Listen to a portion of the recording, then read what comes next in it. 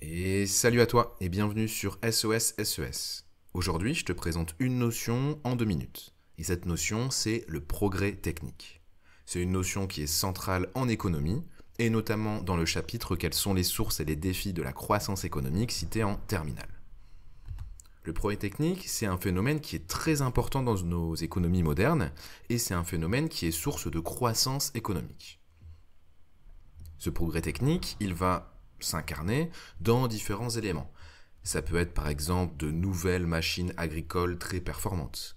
Ça va être l'utilisation de la fibre optique que tu utilises certainement pour avoir Internet. Ça peut être aussi le télétravail.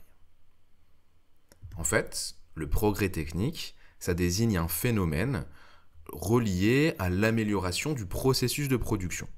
Et ce phénomène a un impact positif sur la PGF, la productivité globale des facteurs.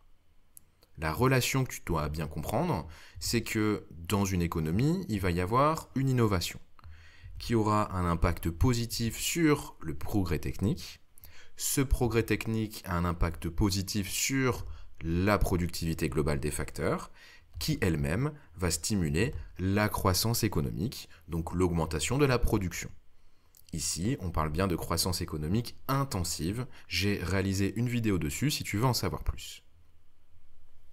Mais tu me diras, c'est quoi la réelle différence entre une innovation, entre le progrès technique et la productivité globale des facteurs? Je suis d'accord avec toi, c'est pas forcément facile de bien comprendre la distinction entre ces trois éléments parce qu'ils se rapprochent vachement en fait. Ils désignent à peu près la même chose, mais pas totalement. Une innovation, c'est en fait une invention concrète qui est appliquée dans le domaine économique. Par exemple, la fibre optique a été à un moment donné une innovation. Cette innovation, elle engendre du progrès technique, c'est-à-dire que ça va améliorer le processus de production. Imagine une entreprise qui utilise beaucoup d'ordinateurs et qui utilise beaucoup Internet va réussir à mieux produire, à produire de façon plus efficace grâce à l'utilisation de cette fibre optique. Et la PGF, c'est simplement la mesure de l'efficacité de tes facteurs de production.